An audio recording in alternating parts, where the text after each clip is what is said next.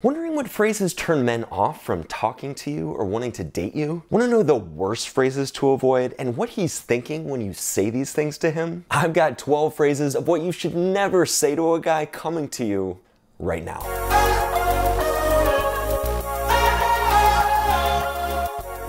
Hey everyone, I'm dating and relationship coach Ryan Patrick. So I thought we would have a little fun today and discuss some of those trigger words that drive men absolutely nuts when women say them. Now, I've certainly experienced all of these phrases from women I've known in one form or another in my dating life prior to getting married, and it's just never a good experience. So I want to let you know about them in case you didn't already know. Now, I realize some of you are going to be asking, Ryan, what about all the crappy things guys say to us women? And I just want to ask you, would you like to see a video about all the crappy lines men dish out to women? If so, just jump down to comments right now and leave me a comment saying, Ryan, make the crappy guy lines video. So that way I know that's something that you would be interested in seeing. But this video today is gonna be about all the things women say to men that are just a total buzzkill. And if you guys are new to the channel and you want a deeper look at understanding men so you can find a great guy to grow closer to him, make sure you subscribe below and click the bell icon to turn on all notifications so the YouTube algorithm knows that you found this video helpful and can share it with more people. That helps me more than you know. So thanks so much for subscribing. Now, here are those 12 phrases of what you should never say to a guy and what he's thinking when you say them to him. The first one is, I'm bored. You're bored? So what? What, you want me to jump around and entertain you? Like, what am I supposed to do with this information? Seriously. So clearly just talking to me right now isn't enough for you. So what? You wanna go to a movie? Disneyland? Like, what do you need right now? Guys just don't need status updates like this. They tend to do more harm than good usually. The second one is, how many women have you slept with? Whoa. You really want to know the answer to that? Because I'm not going to tether that number down just so I don't freak you out.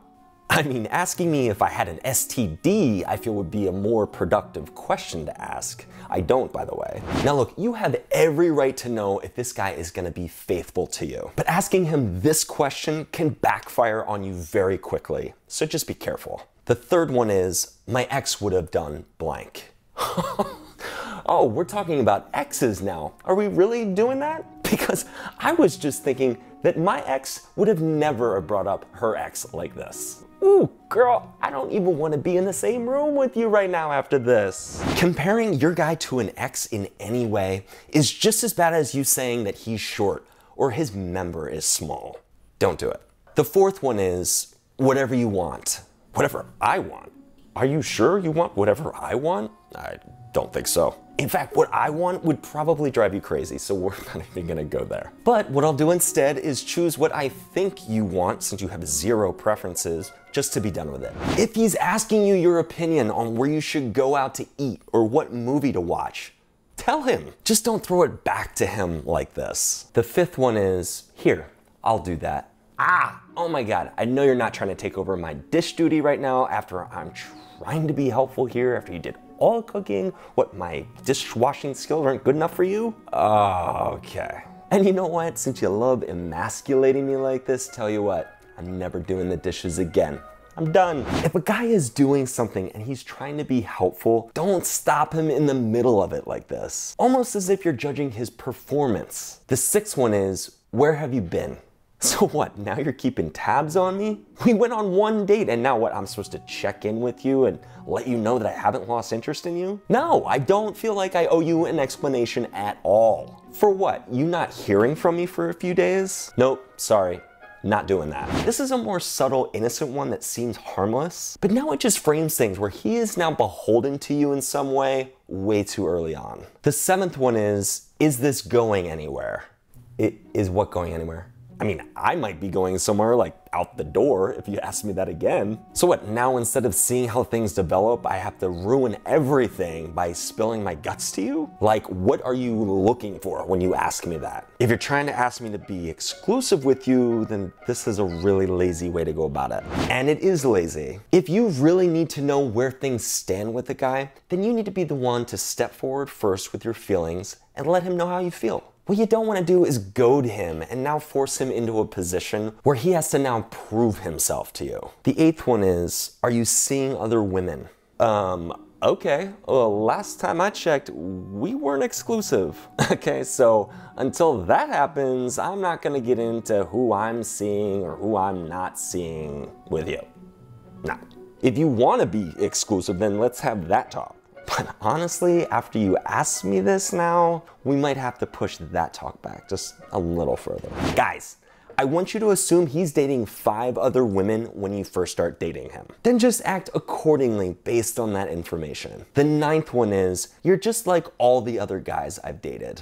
Okay, what the hell do you think I'm gonna say after you throw that in my face? You don't like me anymore, then just end it. Seriously. But I'm, I'm not playing this little game with you right now.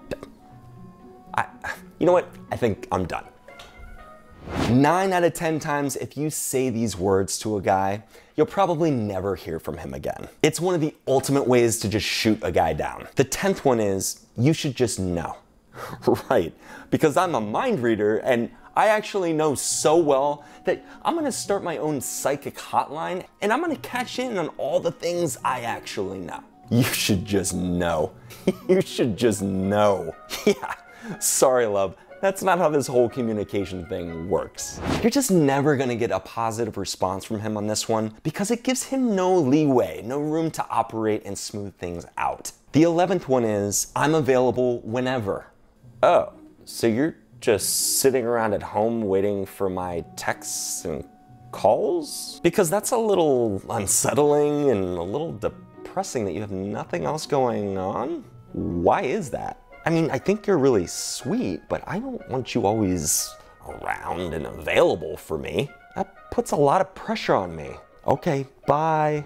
Limit your availability with him, y'all. Don't lie and fake it just to play games. Literally have your own thing going on. The 12th one is, I'm fine.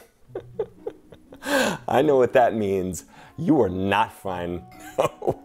In fact, you're probably so irate, so bad with me right now. Oh boy. You're fine. You're fine. Come on. I'm actually gonna back out of this conversation with you right now and go hang out with the boys unless you really want to tell me what's going on. The word fine is just one of those code words that tells us guys that we have some serious groveling to do. We know. So now, should I make a video that shows the opposite side of the story? The things that guys say to women? Let me know in the comments right now. You can just write, make the video. And if I can get at least 500 of you that say you want it, I'll make it. Guys, if you found this video interesting and helpful, please give it a like below. Appreciate you guys having a little fun with me today. I'll see you all next week.